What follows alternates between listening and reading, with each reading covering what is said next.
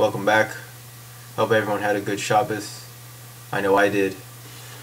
Good food, fantastic praying, beautiful walk.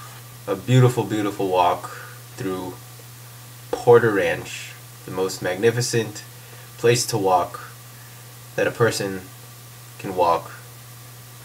Porter Ranch. Awesome place. Thank you for joining me. This is a great time because I'm the champ. That's uh, what's making this a very, very special time. I've got uh, the room here. It's uh, it's full of light. Uh, there's there's two lights on in particular right now. It's sufficing the champ. It doesn't need a whole lot of light. It's nighttime. If it was a little bit more, I mean, whatever. You know, I could talk about anything. I could talk about mushrooms. Think about it. They're, of course, everyone knows they're fungi, right? And there's the joke. Why won't you give me the mushroom a drink?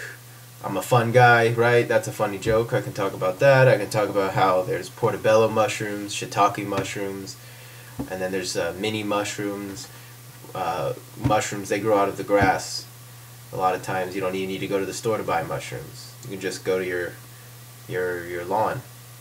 So I have a lot of things to talk about mushrooms with, and I hope you listen to them next time. Au revoir.